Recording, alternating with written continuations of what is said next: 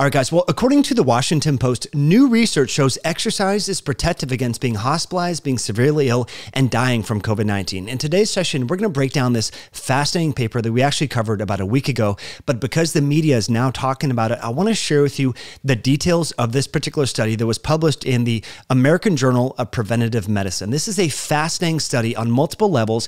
And essentially, what the research shows this is the punchline. People who don't exercise compared to people who do have a 290% increased odds of dying from COVID 19. Now, where have you heard from the media, from policymakers, from health officials that exercise is protective against severe disease, hospitalization, and death? Remember what we did, my friends. We closed the gyms, yet you could go buy pizza, donuts, and corn dogs at Costco, Target. All of the fast food chains were wide open, but yet gyms were deemed dangerous and places where pestilence was flying everywhere. Now, I know a lot of people are defending the policymakers at the time by saying they made the right call. They made the right call to put sand in skateboard parks in Southern California. They made the right call to arrest people for paddleboarding by themselves in the middle of the ocean or in the UK. Even people, there was a group of women who went out walking. This made international news. They got arrested by the police. Here in the King County area where I live in Washington, just outside of Seattle, there was women who got arrested or threatened by the police for walking their children at the park. The park that literally my daughter and I go to pretty much every day had crime scene tape all over the swing set. And when I put my daughter on the swing, I had three neighbors calling the cops on me, my friends. This is how insane the world became about a respiratory virus with a case fatality fatality ratio now of 0.2%. Okay, so we're going to talk about how exercise is is medicine. The effect size that exercise has when it comes to preventing severe disease, hospitalization, and death from SARS CoV 2 is greater than that of the vaccinations. Okay, where have you heard about this? I'm not saying that if you want to get vaccinated, you shouldn't, but every single person should be exercising. About a month ago, we covered a new study that found that exercise enhances the post vaccination immunological effect. So, if you're pro vaccine, you should be super pro uh, exercise. But what did people do? They went and got their vaccine and went and had a donut and took a selfie on it because Krispy Kreme's was giving out free donuts if you were fully vaccinated, which is completely it's it's it's insane. Now, I'm sharing this with you because again, the Washington Post and to their credit, they've covered a few uh, studies and, and that talking about lifestyle, how lifestyle impacts uh, disease trajectory. But by and large, Washington Post, New York Times, they have ignored actual ways that we can become healthy. And they have really favored some and, and promoted news stories that coincide with the con contemporary consensus stay home, sanitize yourself, order fast food uh, from Uber Eats and delivery systems and things like that, and isolate in your home. But we actually now know, and, and this study, this journal, I should say, published a related study showing that the obesity prevalence increased some I think it was like 12%. So it went from 40% of US adults are obese to now 43.5% are obese. Now, that's a problem because most of those people are not going to lose the weight. Now, most of those people also have increased risk for a myriad of different diseases, not only just increased susceptibility to severe infections, but dying from, from congestive heart failure, from diabetes. We're going to talk about dementia in another video. New studies show that consumption of ultra processed foods increases uh, brain decay and actually decreases cognitive capacity and executive function. But let's talk about exercise and really drill down because I know around the holiday season, you're going to be with friends and family. They're going to ask you why you haven't gotten your seventh booster shot. And you're going to say, Hey, I go to the gym, I exercise. So therefore, I have lowered my risk and likelihood of getting severely ill from both RSV, from influenza, from COVID, whatever. This data is not new. And that's why in January 27th of 2020, I started sharing this research showing, hey, friends, I know it's a new virus, but we know from other viruses that exercise is protective. And so let's talk about it. Now, it's important to recognize there are 25 studies, randomized clinical trials, observational studies, retrospective studies that have looked at people's self-reported exercise habits and correlated those with adverse events and poor trajectory with SARS-CoV-2. Okay. And they go on to say there are 25 some odd studies and meta analysis reporting on the association of physical activity or fitness with adverse outcomes for those infected with COVID 19. There was a consistent dose response association with exercise reducing the likelihood of hospitalization and death across lower physical activity categories, with the strongest association comparing the always active with always inactive group. This is where I want to really focus on because this study found there was 191,000 subjects that were studied in this particular data set as part of Kaiser Permanente. And this is to Kaiser's credit, the second major study from Kaiser. The first one we talked about in April of 2021. That study involved 43,000 people. This one, 191,000 people. This is not like three meatheads versus that are unvaccinated. This is 191,000 people, my friends. And this this data was collected before the rollout of vaccines. That's important to recognize and characterize. So, they found that any exercise is protective. I mean, literally, just some activity is better than none. However, the downside, and I think this is important to recognize, and especially as we go into the new year, 58% of the people, 58% of the 191,000 subjects were either always or mostly inactive. So, literally, about two thirds of Americans have an exercise deficiency, and only about 24% of people, as part of this data set. Now, this is Kaiser, it's limited to that, it's here in America, but most people just don't exercise. About 27%, only 27%, report that they regularly exercise.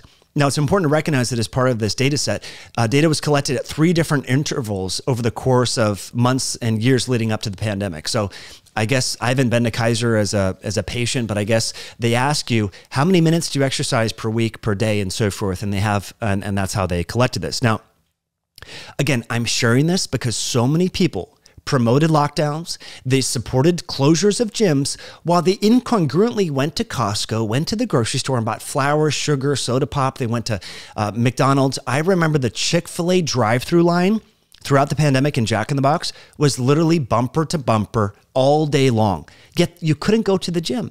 There was a line at Costco. You could do all these things, but you for now some of you are saying, "Well, Mike, you don't need to go to a gym. You can exercise outdoors." Yes, but friends, not everyone has access to outdoor exercise. And I'm not trying to make excuses. If you're a single parent with three kids on homeschool, how are you going to carve out time to go run in the park or do push ups or things like that? If you live in a condo or apartment, and moreover, some people choose to live in apartment complexes and condos that have a gym there. Those gyms were even closed. I've had some clients who are like, I've been trying to exercise. The reason why I signed, I bought this condo was because they have a nice gym. The gym was closed, right? So please stop making excuses for these irrational policies. As this study concludes, exercise should be part of any viral outbreak or any public health measure to mitigate uh, and reduce the burden on hospitalizations. And, and that was the message for that many of the health experts talked about is hospital capacity, hospital capacity. Well, then let's let people exercise. Let's let the kids go to the skate park. Let's let let's not board up literally there's screenshots, you can Google this, where basketball hoops had wood wrapped around them with locks so that kids could not play and people couldn't play basketball. Now, before we continue, friends, I just want to thank you for being here. Uh, I'm Mike Mutzel. If you're enjoying the content, hit the like button. Be sure to leave a comment below and please share this directly as a text message with someone that you know who can benefit from this and you know that they need to exercise more. Now, because we're talking about exercise, I do want to let you know about our electrolyte sticks. This is a creatine containing electrolyte. A lot of people don't realize that electrolytes and creatine work synergistically to help support healthy hydration and athletic performance. During the new year, if you want to get more physically fit, build more muscle, become metabolically healthy, you should consider the electrolyte sticks before or during your workout. It will help your athletic performance. There's over 340 some odd reviews since launching this earlier this year in 2022. People love this around exercise. It can help you have a better workout. You can save using the code podcast over at myoxcience.com. That's M Y O X C I E N C E.com. Myoxcience with an X. Save using the code podcast on the updated electrolyte sticks. So, Let's get into it. Now, we know here's one of the main reasons why exercise is protective because it reduces the very comorbidities, the underlying health conditions that are linked with adverse events like cardiovascular disease, like hypertension, like diabetes. And they talk about that. Exercise also helps lose uh, weight. We know that obesity and being overweight was a major problem. So they go into that. But I want, I think it's really important to, to recognize here as we talk about COVID, only 5% of people that died from COVID was it the only factor on the death certificate. In over 94.6% of people who died, they had four or more underlying health conditions.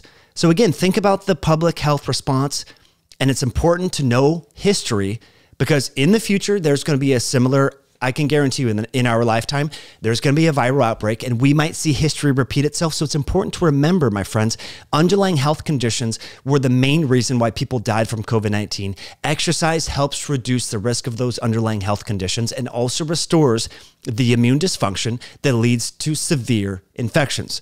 Okay, really, really important. Here we go.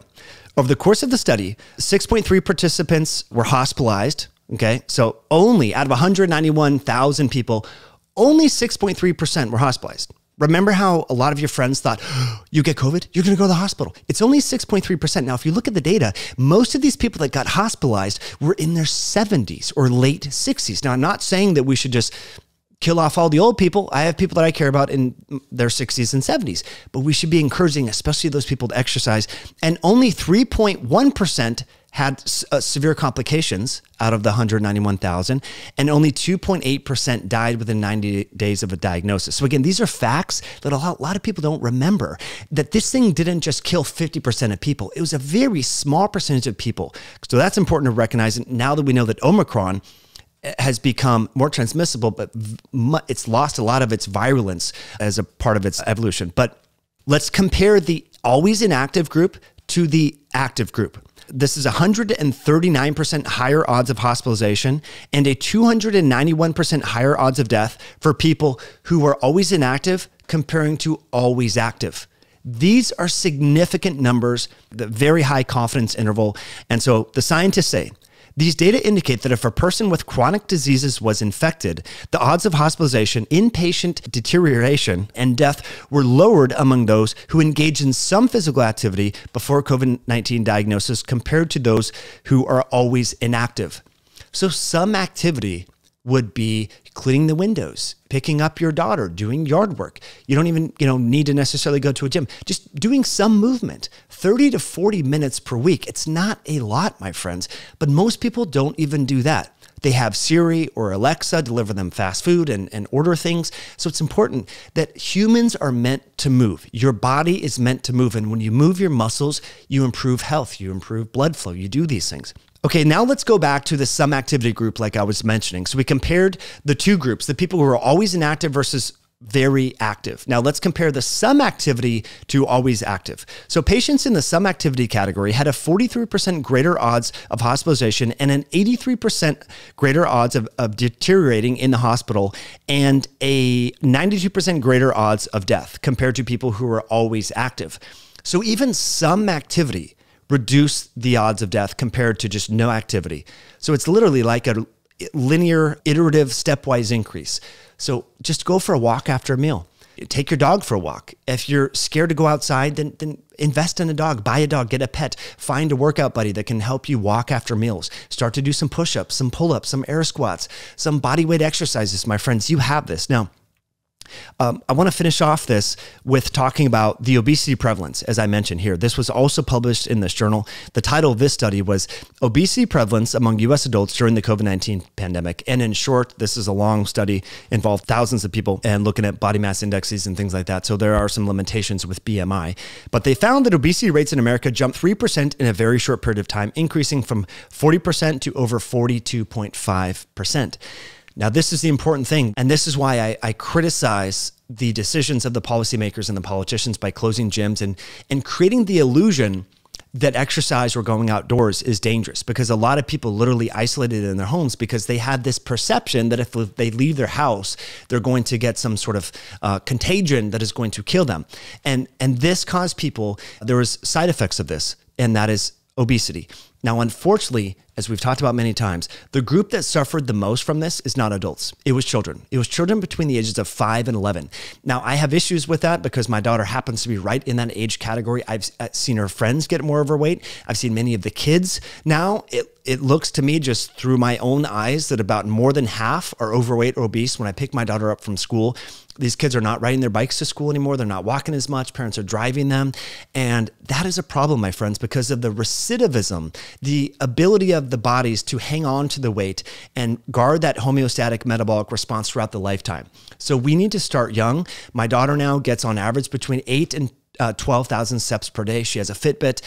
We need to start tracking our activity. And in closing, suggest you monitor this in a Fitbit. These tools, not super accurate with regards to estimating your VO2 max or the number of calories you burn, but they are good at tracking steps. Particularly the Garmin has a nice uh, tracking mechanism. So I have the Garmin uh, Sphinx. Uh, I think sorry, the Fenix. Um, a lot of people have asked about that. I think it's good to invest in that and try to get between eight and uh, 12,000 steps per day. My clients that I work with one on one, I encourage them to lift weights at least three days per week. I think that's a minimum effective dose. Some sort of resistance training is going to be helpful, my friends. So let's think better. Let's do better. Let's start encouraging and promoting health and stop defending these irrational decisions that had a lot of blowback in terms of making people more unhealthy. That's the message, my friends. I want you to be healthy. I want your friends and family to be healthy. And if they're very pro vaccination or pro mask, then they should be pro exercise because these things are, they're not mutually exclusive, they're interrelated. Immune dysfunction is reversed when you improve your metabolic health. So let's help people become more metabolically healthy. Thanks for watching. Thanks for sharing this. I'll put links to the study below and related articles in the late press where there was actually a lot of blowback. Because again, the media sites that promoted lockdowns and supported gym closures are actually now talking about the protective effects of exercise as though it's novel and new. We knew this, my friends, back in January of 2020 when it comes to pathogens. H1N1, seasonal flu, even bacterial infections, people that are overweight, inactive have worse outcomes. So why would COVID-19 be any different? It's not. We now have the data. We have 25 studies. Exercise is medicine. Please help me share this message because people need to get moving again. Thanks for watching. We'll catch you on a future episode down the road. Bye now.